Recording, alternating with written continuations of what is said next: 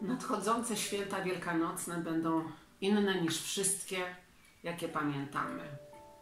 Nie zawsze będziemy mogli spotkać się z bliskimi, nie zawsze spotkamy tych, których kochamy, ale będąc odpowiedzialnymi za ich zdrowie i bezpieczeństwo, mamy okazję spotkać się wirtualnie. Życzę więc wszystkim, by te święta były spokojne, by niosły nadzieję na lepsze jutro, by niosły miłość, nawet jeśli nie możemy o niej powiedzieć bezpośrednio. Życzę Państwu dobrych, spokojnych i pełnych optymizmu i nadziei na przyszłość świąt wielkanocnych.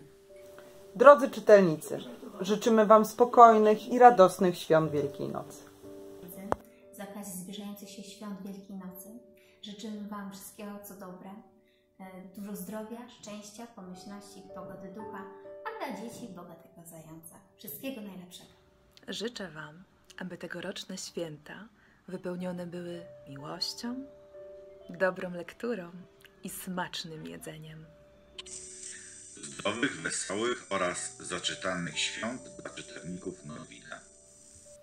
W tym szczególnie trudnym czasie, którym przyszło nam świętować Wielkanoc w tym roku, życzymy Państwu przede wszystkim potrzebnego nam wszystkim zdrowia.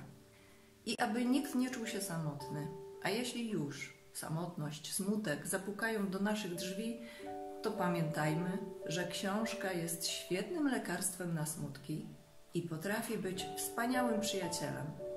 Niech te święta wielkanocne napełnią